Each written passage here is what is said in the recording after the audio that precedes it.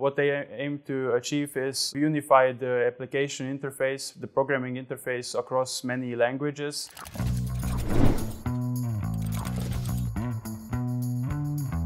I'm Mihael Šinkec. I'm a software developer at sCrypt.